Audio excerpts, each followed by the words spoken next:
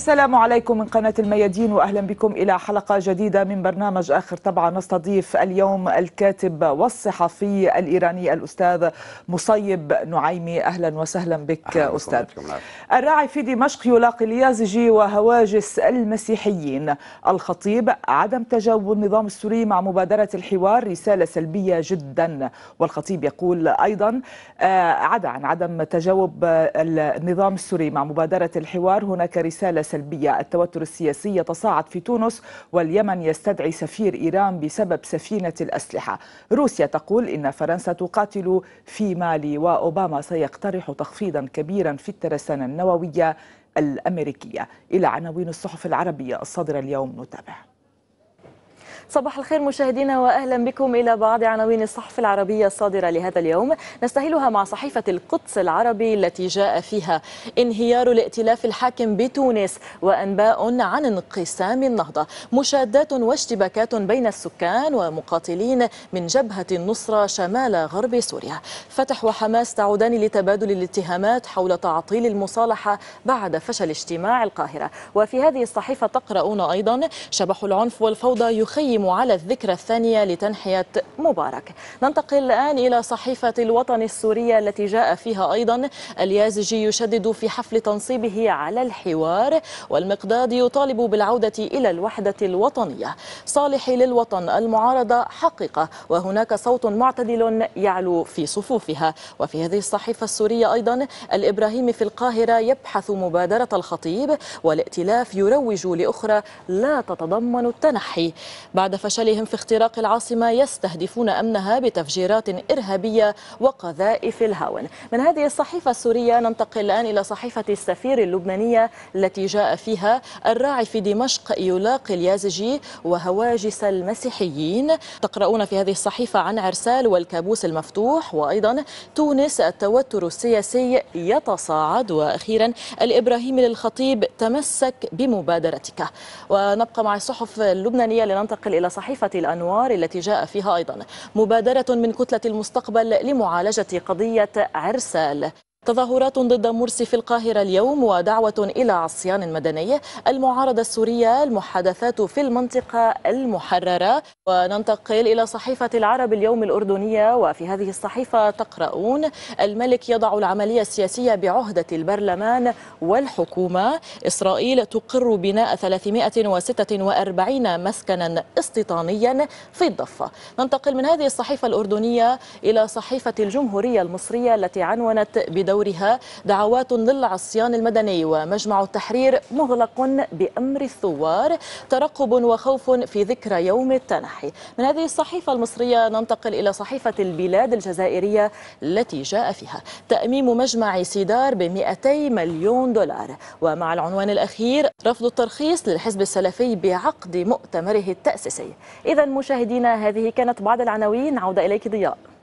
شكرا لزميلة مايا رزق على قراءة العناوين أستاذ مصيب أبرز العناوين التي لفتت نظرك في قراءتها وتود التعليق عليها بداية يعني أعتقد الصحافة العربية اليوم كانت تهتم في البداية كما كل يوم هو في الوضع السوري من ثم تنصيب البطريرك آه، آه، بطريرك الأرثوذكسي أيوة. في في دمشق وهذا طبعا آه، اولا تنصيب البطريرك اتصور كان مهم ولكن آه، يعني يك- يكون هذا الحدث في دمشق آه، لها أهمية آه، أخرى آه، مضاعف آه، في خاصة في هذا الوضع وخاصة بحضور آه، العديد من الشخصيات المسيحية آه، اللبنانية التي آه، طبعا ذهبت إلى دمشق وهذا تصور أت- أنه حدث آه، تعتبر. وطبعا رأينا أن الصحف السورية أيضا آه، حاولت أن تأتي آه، نوعا ما الأولوية في هذا الخبر وأهمية آه، وخاصة هو أهمية لزيارة المكان الراعي المتصور. طبعا. طبعا لزيارة الأحداث الراعي الأخرى كمصر طبعا مستمرة الوضع رأيناها. آه، الوضع ال- طبعا الخلاف السياسي الموجود هناك. ويعني موضوع الاستيطان أيضا كان نقطة مهمة أشار إليها الصحف الاردنيه آه، صحف أردنية هذا أيضا الصور هو تلميح مهم يجب أن نتنبه به. يعني لا يجب أن لا ينسانا الوضع السوري والأوضاع الإقليمية آه، ما ما تقوم به آه، إسرائيل من آه، آه، توصيء نقطة الاستيطان والتي هي انه هدف لتهويد فلسطين وبالنسبة لتونس يعني العناوين أيضا يعني تركز على تونس وتداعيات اغتيال بلعيد وما يريد الجبالي طبعاً وبدايات طبعاً. الانشقاقات في النهضة يعني طبعاً هذه طبعاً. ممكن هل يمكن اتخاذها كتجربة للحكم الإسلامي أو لوصول الإسلاميين إلى السلطة؟ لا سواء في يمكن تونس أو في مصر. لا يمكن اعتبار لماذا؟ آه، هذا تجربة إسلامية لأن كما نعرف هناك طبعا مجموعات إسلامية وصلت إلى الحكم ولكن لم يكن لديهم قبل ذلك أجندة حسب تصوري لبناء حكومة يعني هم ثوريين وصلوا إلى الدولة ثورة نقله إلى الدولة يجب أن يتغير بكل معالمها يكون له تحضير أعتقد أنه لم تكن هناك تحضير ولكن في قوي. مصر كانوا يشاركون في مجلس النواب ولو تحت مسميات مستقلة كان ولا- هناك لا- لا، ولديهم نفس- برامج و... كانوا والدليل كانوا أنهم. أكثرهم لا. تنظيما واستطاعوا حضور- الوصول حضور- إلى السلطة حضور في المجلس النيابي في أي بلد كمعارض تختلف أن تكون أن تضع أنت أسس للدولة أن هناك بناء الدولة وأسلوب الدولة تختلف وخاصة المجتمع المصري المتنوع والكبير والمهم والتي لا يمكن أن تسيطر عليه برؤية واحدة. هناك المصريون يقولون أن أكثريتهم غالبيتهم مسلمون ولكن لا لا يح- لا يحتاجون إلى أن يعلمهم أحد الدين. هذا هو أسلوب الحكم الإسلامي. يعني هم أن مؤمنون؟ ومسلمون ومتدينون وممارسون. لطقوس دينهم ولكن ليسوا بحاجة إلى الآن. صح. إلى حكم إسلامي يعني في اسلوب أسلوب لم يكن أسلوب جيد وإلا هم طبعا الدول الإسلامية كل المسلمين منتمين للإسلام والمسيحيين منتمين للمسيحية أو لكن أنه واحد يفرض عليهم إسلام جديد أو مسيحية جديدة أو دين جديد فهو غير مقبول ستكون فأسلوب آه، أعتقد أنه كان أسلوب نوعا ما خاطئ إلى حد كبير. إلى حد ما غابت آه، غاب احتفال إيران بذكرى الثورة عن آه، صفحات الجرائد عناوين الصفحات الأولى ولكن طبعا في الصفحات الداخلية موجودة التغطية وكلمة طبعاً. الرئيس نجاة إلى م... ولكن على الصفحة الأولى هناك غياب. على كل حال سوف يعني- نتحدث عن هذا الموضوع في آه، تفضل في موضوع الإيراني أعتقد هو حدث طبعا بن- برأي البعض تكرر ولكن أعتقد أن بعد 34 عاما من إنجاز الثورة واستمراريتها وصلابتها وبعض الإنجازات ومواجهتها مع الغرب. أعتقد أن هذا يعني يعتبر أنه انجازا مهما اساسيا لأن كثير من الثورات أو غيرت وجوهها أو غيرت مبادئها أو أصلا آه، يعني انتقلت إلى مرحلة مرحلة هو ليس اسمه ثورة، فالثورة الإسلامية في إيران أتصور بما أنجز من استقلالية في الرأي والفكر والتحدي لكثير من الأمور التي كانت تريد أن تفرض عليها، أعتقد أنها ثورة آه، يمكن الاعتناء يمكن أن تشهد إيران ثورة على ثورة كما يحصل حاليا. هناك من يعني قد تتطور الأحداث أو قد تشهد ربيعا آخر. لا لا قد تكون هناك في خلافات داخل إيران موجود و- وهذا الخلافات تنضج منافسة قوية خاصة في في الانتخابات وهذا أمر مطلوب أيضا يعني من قبل النظام ومن قبل آه، آه، ال- الذين طبعا يعولون على النظام. ولكن آه، أن تكون هناك تغييرا لا هناك البديل لا يوجد لا يوجد. البديل الأفضل وهناك هي المعارضة هنا- البديل. البديل المعارضة المعارضة التي ماذا ماذا لديها المعارضة؟ المعارضة يقول يقول أنه يريد بعض الإصلاحات، بعض التعيينات وهذا أمر مطلوب من الجميع وهذا يوميا يطالب به وهناك عمل في هذا المجال، هناك آه، التنمية التي تريد المن- آه، المعارضة مثلا.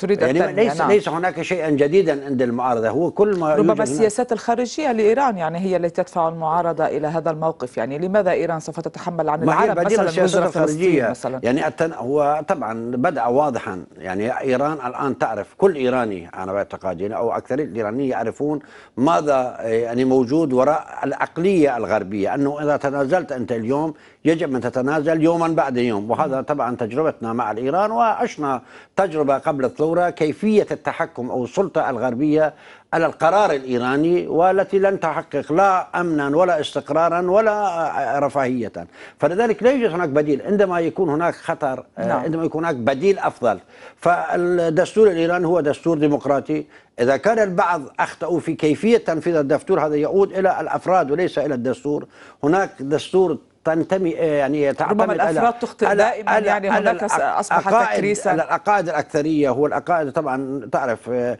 آه، إيران بلد تنتمي إلى الإسلام آه، ولا يمكن أنت تفرزها وتعطيها مثلا نموذجا غربيا وفي نفس الوقت هناك نموذج ديمقراطي هناك في انتخابات بلدية ورئاسة الجمهورية والمجلس النيابي وهناك حتى آه، انتخابات لمجلس الخبراء الذي تعتبر هو آه، هو الذي يعين مثلا آه، قائد الثورة قائد الثورة. فلذلك على العموم هناك النمط الموجود هناك ديمقراطي. نحتاج إلى نضج وتحول إلى مرحلة أنه نمارس الديمقراطية بين بعضنا البعض. إذا فقدنا هناك في تقصير هو تقصير في كيفية التنفيذ باعتقادي وليس في الدستور الذي آه، أعتقد أنه هو أفضل الدساتير الموجودة على الأقل في على مستوى المنطقة. نعم، ننتقل إلى الحدث بالعربي، صالحي هناك صوت معتدل يعلو في المعارضة، العربي والإبراهيمي يرتبان للقاء بين الخطيب والشرع، إلى الحدث والتفاصيل.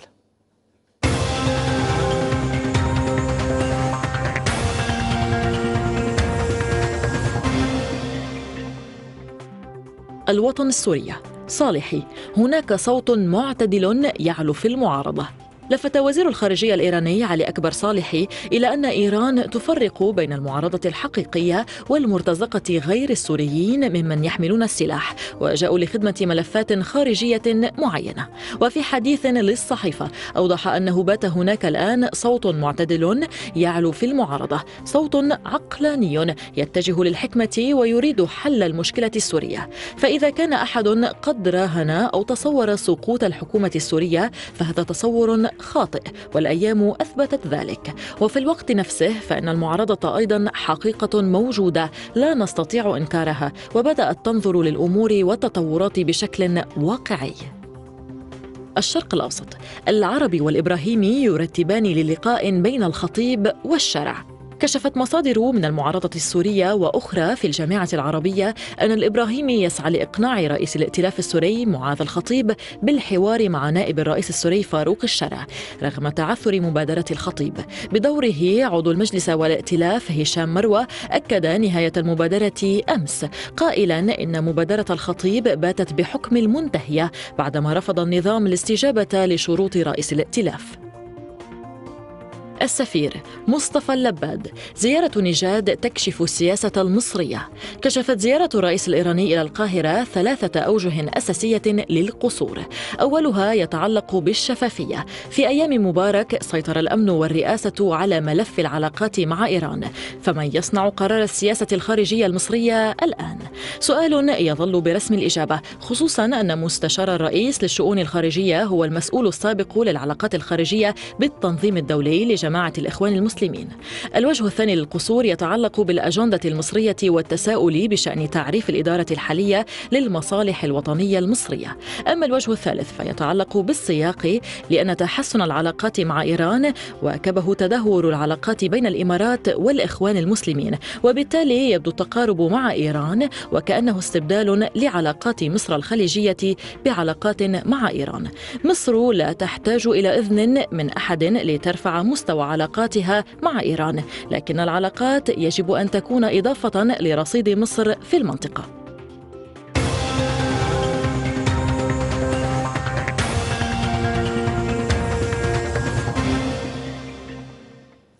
أستاذ مصيب يعني نبدأ من حديث أو من كلام صالحي الذي اعتبر أن صوتا معتدلا بدأ يخرج من المعارضة السورية. ولكن في هذا الوقت أو في المقابل هناك رفض من قبل دمشق للتحاور بهذه الشروط أو بالشروط التي تفرضها المعارضة أو بمبادرة الخطيب. يعني آه، آه، كيف تفسر هذا التناقض بين يعني كلام صالحي وقيادة في دمشق؟ أعتقد أن يعني الأزمة السورية دخلت مرحلة جديدة وهي خلق قناعة حتى لدي المعارضة. طبعا آه، نحن نسمي هناك معارضة كدول يعني مثل المعسكر الأمريكي آه، الأوروبي التركي السعودي القطري. قطري. إيه. آه، المعروف تقريبا ومن يدعمهم. آه يتحدث عن كل هؤلاء. آه هم وصلوا إلى قناعة أن آه الأسلوب أو الاستراتيجية التي بدأت برؤية من داود أغلو في البداية أن خلال ثلاثة أشهر قد تغير يمكن تغيير الحكومة والاستيلاء على سوريا. قد باتت فاشلة معروفة واضحة ولكن هذا أتصور.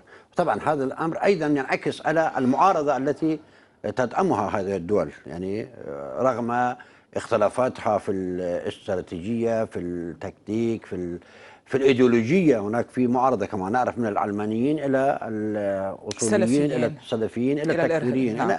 حتى السلفيين تنوع بتنوع أحوالهم موجودين هناك النقطة المهمة الآن أن هناك قناعة حصلت آه، وصلت إليها الجميع ولكن كيفية الخروج من هذا المأزق أو من هذا يعني حالة لأن لا يمكن لأي دولة أن يغير خلال 24 ساعة موقفها كأنها خسرت كل الرهان. فلذلك آه، هناك آه، محاولة آه، لسيناريو أتصور أن محاولة مع- ما السيناريو ماذا؟ أي سيناريو؟ سيناريو يحافظ مع الوجه من خلال للجميع. الخطيب؟ من خلال مبادرة معاذ الخطيب؟ طبعا. لا الآن قصدي أن أريد أن أوصل إلى موضوع الموقف الذي أعلنه نعم، صالحي. الوزير صالحي. نعم. الوزير صالحي عندما يقول هذا أنه يهدئ برايي الأجواء حتى الذين كانوا في موقف معين والآن أعادوا عن موقفهم لا يخسرون الوضع تماما. يعني يعني آه، لا يمكن لأي آه، طرف أن يكون موقفه متشدد. خلال 24 ساعة يرجع إلى معتدل. وأيضا مصالح فعند هذا الحاله ستكون. أيضا بالنسبة للسوريين بالنسبة للحكومة السورية أيضا الوضع صارم يعني هو مقتنع بأنه يجب أن يكون هناك حل سلمي وهذا كان بداية. ولكن الآن ترى بأن هناك خسائر فادحه أرواح ضاعت آه، يعني آه، دمار آه، كبير وحصلت. لا يمكن لها أن تقبل بمعارضة أن تأخذ تغطية الحصص قبل أن يعني يكون ضمن الشروط التي تقاسم الحصص. لا. هذه الحالة التي آه، وصلنا عليه ممكن نلخصها بأن القناعة أنه حل سلمي هو الحل الوحيد موجود ولكن كيفية الوصول إلى الحل؟ حل عبر آه، يعني وقف إطلاق النار وال- والذي هو مطلوب من قبل الجميع؟ يعني آه، وهذا وقف إطلاق النار لا يمكن أن تحقق سلاما خلال 24 ساعة يحتاج إلى بعض الوقت. حتى تمر الأمور. مراحل المراحل فيما بعد وقف اطلاق النار هو موضع النقاش الذي الآن هو يتراود بين كل في المباحثات التي كانت مع المعارضة أو مع الدول وهناك في رؤى مختلفة في هذا المجال أنه يشترط منذ البداية أن بعد وقف اطلاق النار يكون مرحلة هدوء وفيما بعد تحضير الانتخابات ويكون إشراف دولي عليه وما شابه ذلك.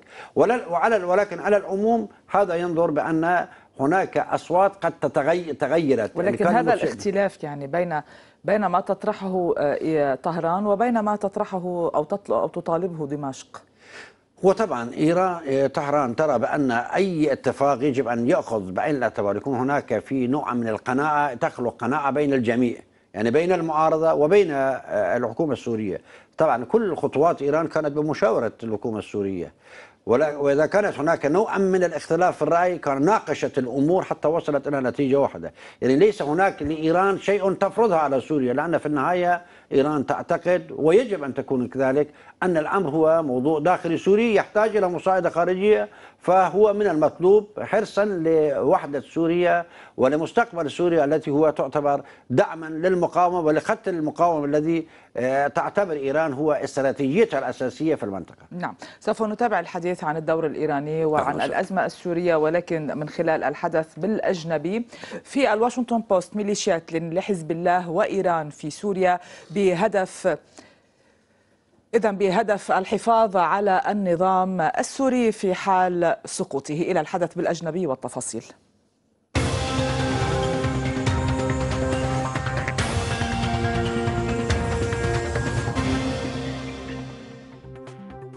واشنطن بوست ميليشيات لإيران وحزب الله في سوريا تقوم إيران وحزب الله بتشكيل ميليشيات في سوريا للحفاظ على مصالحهما في حال سقوط نظام الرئيس الأسد. مسؤول رفيع في الإدارة الأمريكية قال للصحيفة إن عدد أفراد هذه الميليشيات يصل إلى خمسين ألفا ما يجعلها عملية ضخمة. والهدف الإيراني المباشر هو دعم النظام السوري لكن ما يهم طهران هو إقامة قوة داخل سوريا يمكن الوثوق فيها والاعتماد عليها. إذا تفتتت سوريا إثنيا ومذهبيا. مسؤول عربي أشار إلى مسارين في استراتيجية إيران. دعم الأسد حتى النخاع والاستعداد لأي ضربة إذا انهار نظامه. مسؤولون عرب أمريكيون قالوا إن المصلحة الإيرانية تفسر لماذا تستمر طهران المنهكة اقتصاديا في دعم مجموعات مثل الجيش الشعبي. ووصف مساعد وزير المالية ديفيد كوهن هذا الجيش بأنه شركة بين إيران وحزب الله. وإيران تزودها دوريا بملايين الدولارات. وول ستريت جورنال هدية أوباما لإيران. المشكلة في سوريا ليست النقص في الأسلحة قال البيت الأبيض. وإنما في وصول هذه الأسلحة إلى الأيدي الخاطئة ما يعرض حلفاءنا للخطر. لكن عبر الإحجام عن القيام بأي شيء ضمن أوباما أن يحصل المتمردون على أسلحة من قطر والسعودية والإمارات التي لا تمانع في تسليح السلفيين السنة. هو درس تعلمه أوباما عبر القيادة من الخلف في ليبيا. لكن العلة في سوريا أننا لا نقود على الإطلاق. كان لنصر سريع للمتمردين مدعوم من واشنطن أن يقطع الطريق على الأسلحة الإيرانية إلى سوريا وحزب الله. لكن أوباما أطال أمد الحرب في سوريا وساهم زيادة الإضراب في المنطقة ومنح إيران هدية استراتيجية.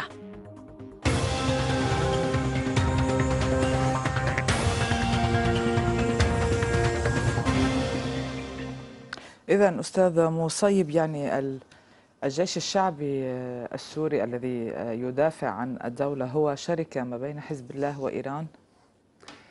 يعني يجب أن نكون واقعيين. نحن نعيش في هذا المنطقة وليس في السماء. نحن نعرف سوريا نعرف لبنان نعرف إيران نعرف المنطقة برمتها نعرف نفوسها نعرف مدى قدراتها. إذا نظرنا بشكل طبيعي وعادي الجيش السوري كان جيشا قويا آه، تملك أكثر من 450 ألف آه، مقاتل يعني أو آه، كادر. إضافة إلى يعني ما يعرف بالذخيرة أو الاحتياط يعني عدد الاحتياط يتواصل بين 900 مليون كما يقال. طيب مثل هذا وبالنسبة للأسلحة أيضا كانت هناك تحذير من مرحلة عهد رئيس الأسد لحد الآن تحذير لمواجهة شاملة مع إسرائيل. يعني لا يحتاج إلى أسلحة يعني التي تحتاج أحيانا آه، يعني تستفيد منها في المعارك الداخلية. فلذلك آه، ولم نرى أبدا أي قتيل آه، بين الضحايا العسكريين السوريين من أجانب.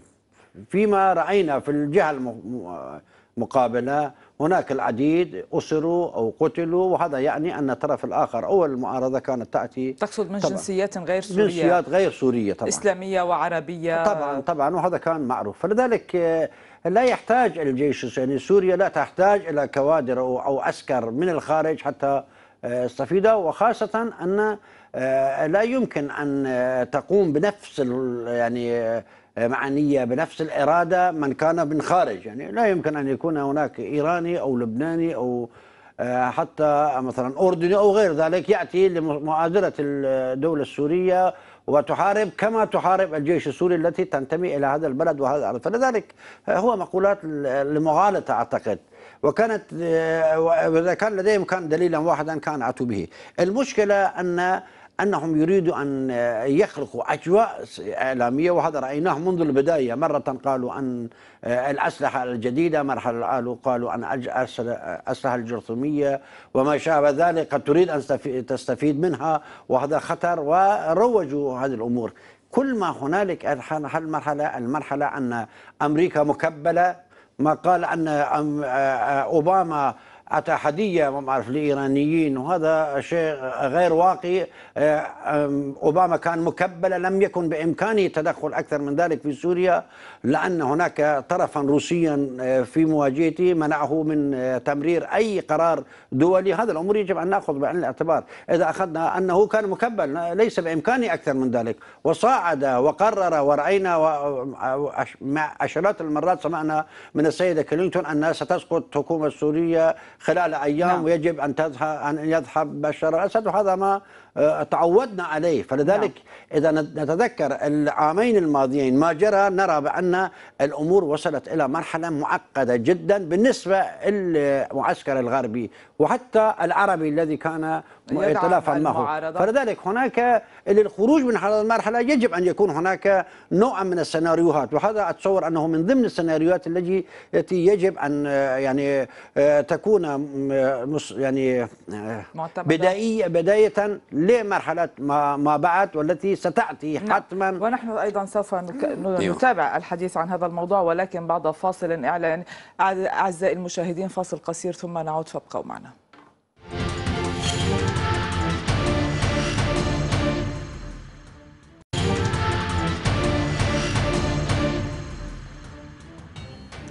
أهلا بكم من جديد. ولكن قبل أيضا الذهاب إلى الصحافة اليمنية وإلى مكتبنا في صنعاء يعني نتابع النقاش بالموضوع الإيراني العربي. منذ يومين زار الرئيس أحمد نجاد مصر. هناك انتقادات وجهت لهذه الزيارة. البعض رحب بها واعتبرها انفتاح على العالم العربي وتحديدا الجهات الإسلامية وهناك من انتقد هذه الزيارة وقال يعني وتساءل لماذا إيران مراهنة إلى هذا الحد على الإخوان المسلمين في العالم العربي؟ يعني ما هذا الرهان يعني الذي تريده إيران؟ يعني هناك نقطتين يجب أن ننظر إليها من زاويتين. أولا زيارة كان هو طبعا قمة إسلامية.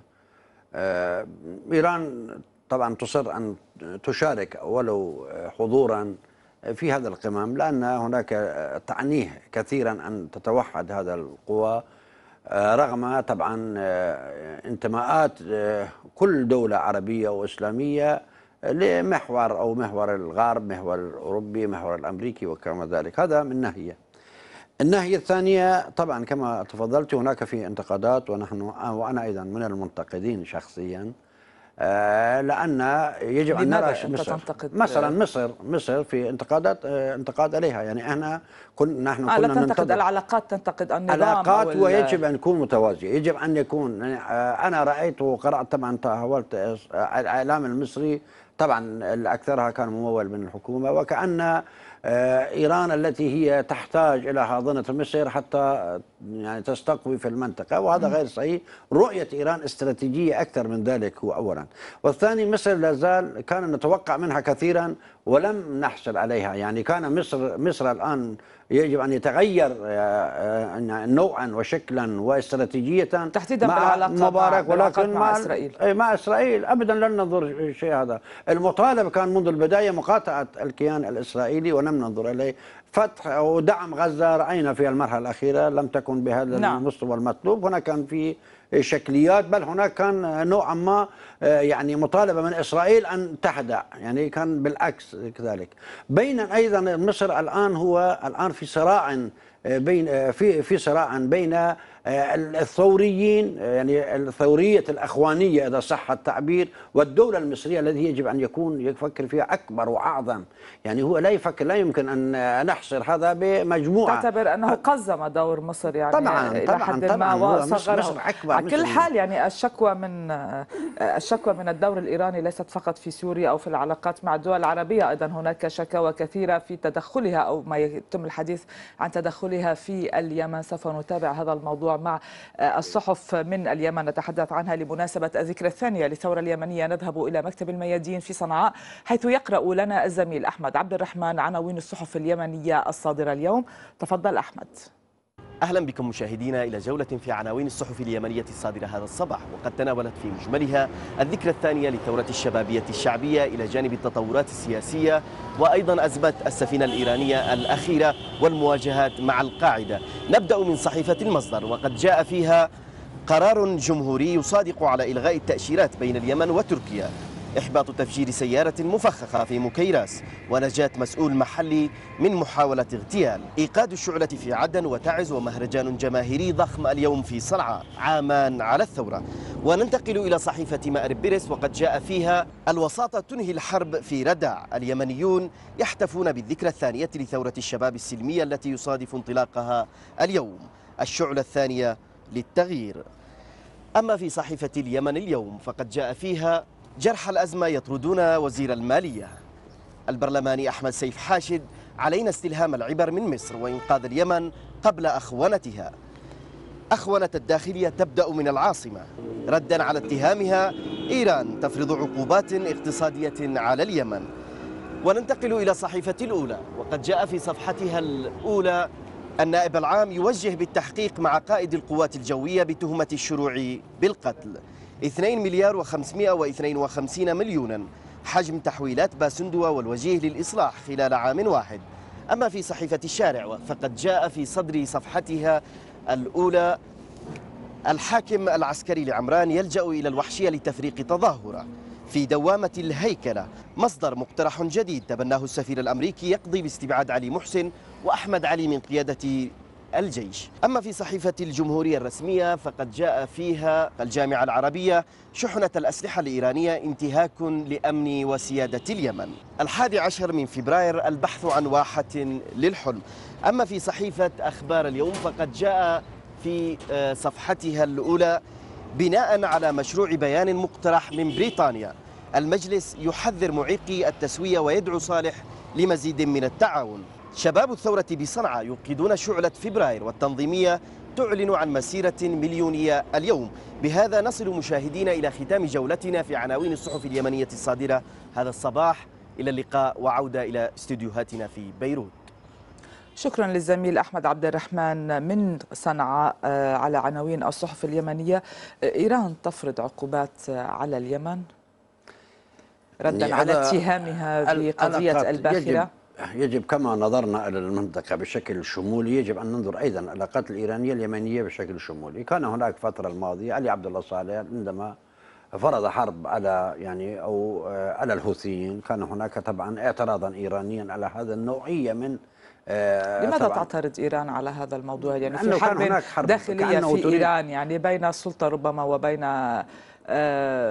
معارضين ربما بين لا، كان هناك حالة القم وهذا القم آه، آه، يعني كان آه، مذهبيا يعني إذا سحبت. راح رغم أن آه، كان آه، هو علي عبد الله صالح آه، آه، كان من ضمن المجموعة ولكن هناك كان مقصود وكان وكأنه يريد حرب شاملة ورأينا أن هناك تدخل سعودي في الموضوع وكان هناك آه، ردا إيه، على إيه التدخل طبعاً. السعودي في الموضوع تعتبرون أن اعترض عليه ذلك الوقت آه، يعني علي عبد الله صالح وعججها وكأن هناك حربا إيرانيا ضدها. ونعرف أن إيران أولا ليس لديها حدود مباشر مع آه، مع اليمن وليس ولا تريد التغطية ولكن طبعا إيران معنية في المنطقة أن يكون هناك عدم الأمن واستمرار الأمن هو سيعود على إيران وهذا أعتقد من حق أي دولة إذا است يعني استمرت الوضع بشكل متفاقم وكانت إيران نساء هي لم تقطع علاقات ايران علاقاتها مع اليمن في أي مرحلة من الزمن وحتى صارت هناك بعض المراحل اتصالات مباشرة وحضور مباشر آه، وتواصل بينهم بين اليمنيين ولكن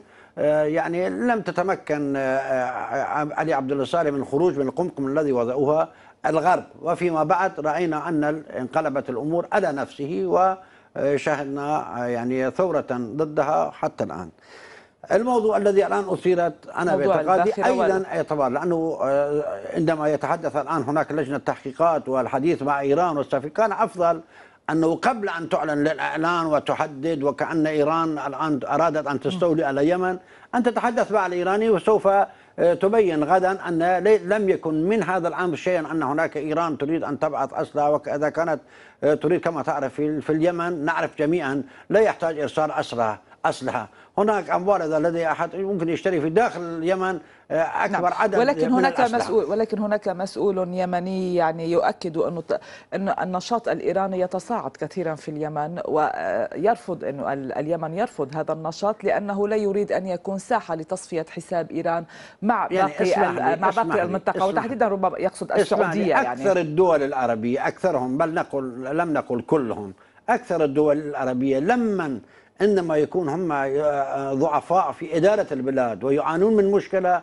يحاولون آه، يعني آه، آه، نقل هذا المشكلة إلى الخارج حتى يبرروا وإلا آه، ما هي مصلحة إيران أن تتدخل في اليمن؟ طبعا إيران كما قلت هو معنية بالأمن الإقليمي بشكل كامل مش لي- لي- ليس من باب السيطرة. إيه، بل يمن بلد يعني ولكن في الوقت نفسه يعني هؤلاء يعرفون فعلا أن الأمن هش ما- لديهم لي الاستقرار يعني غير مضبوط بشكل عام يعني طيب. خارجون من ثورة آه، آه، أخذت وقتا طويلا أو ع- هذا يعني يعود لحكوماتهم يخاف أيضا. من النشاط ربما الإيراني على الساحه وكان كما تحدثت حضرتك مع يعني اذا الحوثيين إذا كان رأوا أن. مواطنيهم يعني آه، يعني هم أقرب لإيران منهم هم الذين يشككوا في أنفسهم وإلا في اليمن ليس شيئا يعني آه، يعني يأتي لإيران ال- يعني الصلاحيه أن تدخل ولا ولا في شيء ليس فيها في في اليمن لا النفط ولا المال ولا استراتيجية. كل ما هنالك في اليمن هناك في نوع من السلطة الفردية التي كانت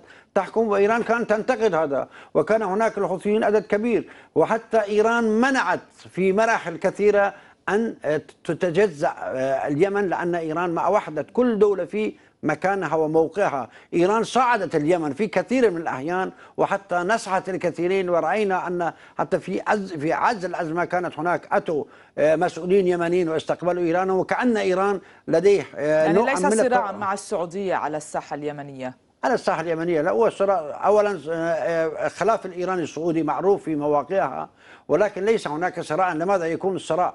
لأن السعودية كما نعرف آه، في المرحلة الأخيرة كانت تريد تريد أن نوعا ما أن تسيطر على آه، موضع القرار في في اليمن وهذا ما عارضه اليمنيون أنفسهم وهذا ما شاهدناه يعني تعتبرون الأخيرة. أنفسكم يعني إيران هي تدعم اعتراض اليمنيين أنفسهم طبعا هو قسم منهم يعني هو الآن مع وحدة اليمن حتى في المرحله التي كانت نوعا من هناك الحراك الجنوبي، نعم. الحراك التقسيم كان إيران معارضة لأي نوع من التقسيم لا في اليمن لأن مثل هذا التقسيم سوف يترك أثرها على نعم. العراق على البلدان الأخرى وهذا ليس لمصلحة البلدان الإسلامية يجب أن تتوحد يعني أكثر فأكثر لنرى بدلاً. اليمنيون نعم لنرى ماذا يريد آه،.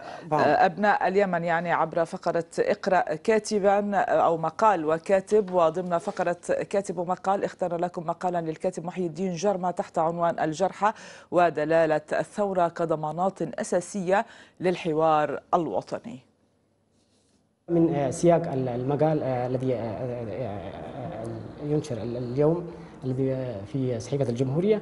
أتحدث فيه عن طبيعة عن الأولويات ال- ال- الأولوية المجتمع اليمني أنه الذي على القوى السياسية أن لا تهمل هذه الأولويات. لأنه تكرس في المعطى التعاقبات السياسية للمنظور الشمولي لل- للسياسات المتعاقبة أن يتم النظر إلى أولويات وحسابات ضيقة لهذه للقوى السياسية في حين يتم إهمال ال- الأولويات المجتمع اليمني.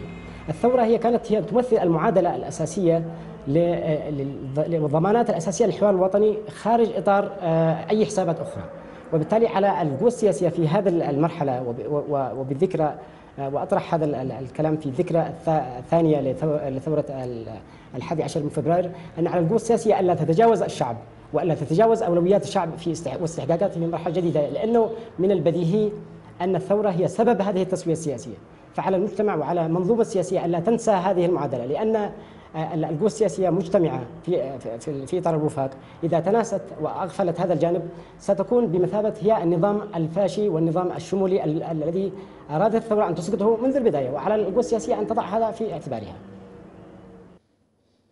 أستاذ مصيب يعني آه، من من تونس إلى مصر إلى اليمن. هناك مطالب للحوار وربما الحوار لا يعني آه، يعني هناك مخاوف من الحوار من أن لا يؤدي إلى نتائج مرجوة. برأيك هل الحوار ممكن في اليمن أن يفعل فعله بين أبناء اليمن؟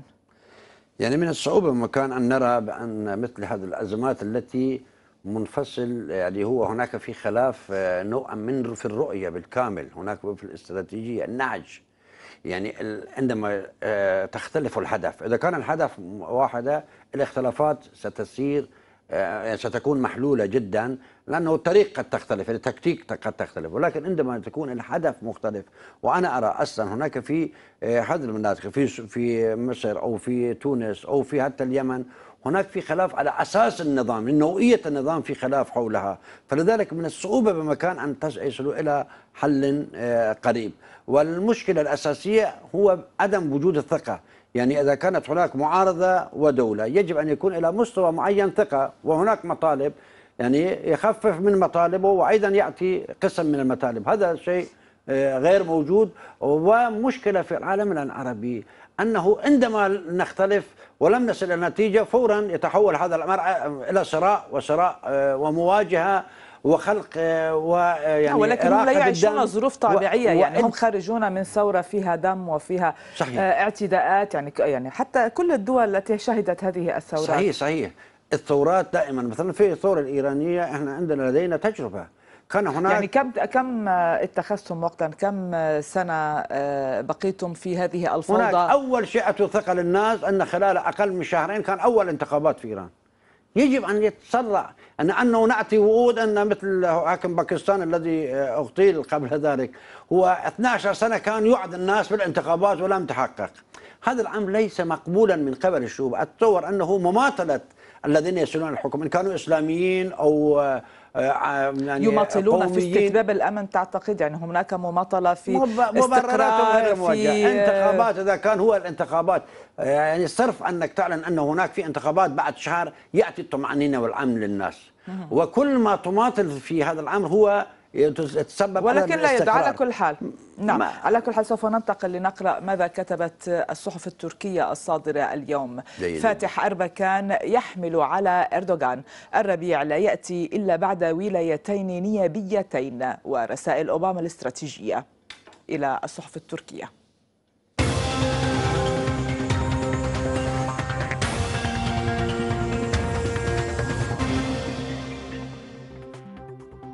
ملي جازيتا فاتح أربكان يحمل على أردوغان.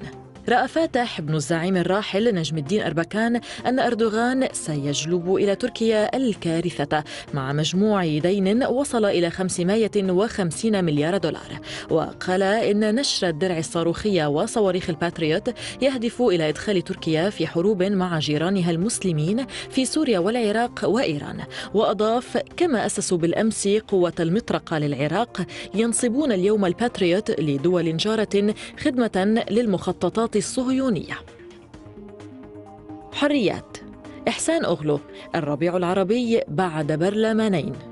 شبه أكمل الدين إحسان أوغلو الأمين العام المنتهية ولايته لمنظمة التعاون الإسلامي الربيع العربي بالمشروطية الثانية في تركيا عام 1908 حيث كان المهم إسقاط السلطان عبد الحميد من دون خطة لاحقة ووسط انقسامات كبيرة. وقال ربما يمكن الحديث عن ربيع عربي بعد مرور ولايتين من البرلمان وأشار إلى أنه لا خطر من صدام مذهبي في سوريا فالنظام كما المعارضة. معه أطياف مذهبية متعددة مستبعدا تقسيم سوريا لأن ذلك سيفتح على جهنم. تنتقل إلى كل دول المنطقة. معتبرا أنه تحدث في سوريا أشياء مؤلمة جدا. باسم الإسلام. مليات. فؤاد كيمن. رسائل أوباما الاستراتيجية. الحوار الذي أجرته الصحيفة مع الرئيس الأمريكي باراك أوباما حمل العديد من الرسائل منها أن تركيا لاعب عالمي وأن زعماءها عالميون وينظر إلى تركيا على أنها حليف مصري وشريك استراتيجي. دعوة أوباما إلى حل سلمي للمشكلة الكردية في تركيا حملت دعما للجهود الحالية لحلها. ومع أن موقف أوباما من سوريا ينسجم مع الموقف التركي بحتمية رحيل الأسد غير أن أنقرة تريد رحيله بأسرع وقت فيما موقف واشنطن ضبابي أوباما عكس موقفا آخر مهما وهو أن إيران ليست تهديدا لإسرائيل فحسب بل أيضا لتركيا والمنطقة. إن قيام أوباما بزيارته الأولى الخارجية إلى إسرائيل يعكس رغبته الشديدة في تطبيع العلاقات بين تركيا وإسرائيل التي سيضغط في اتجاهها كشرط مهم للبحث في حل قضيتي سوريا وإيران.